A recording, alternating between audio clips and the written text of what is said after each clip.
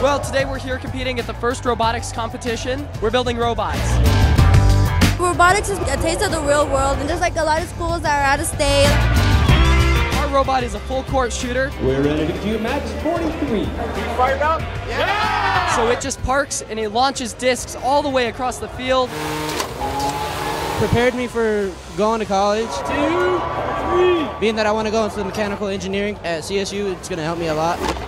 Some of our teams here are traditional career and technical programs, and some of them, like at Montbello, she's a science teacher. It's a nice blend. They're able to compete effectively here. The goal here is to uh, go to nationals. It's just having fun, uh, building robots. It's one heck of a challenge, but it's, a, it's really great to get it done.